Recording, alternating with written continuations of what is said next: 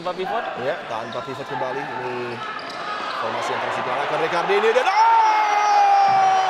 kerjasama impresif dan tidak kalah istimewa adalah finishing yang ditampilkan oleh Suban Faidasa. Kemampuan dari Ricardini untuk bisa melirik pergerakan Suban dan mungkin ini yang dibicarakan tadi ketika pertandingan akan berlangsung di babak kedua. Ada perbincangan Ricardini dengan Suban ini set up dengan sentuhan magis dari Ricardini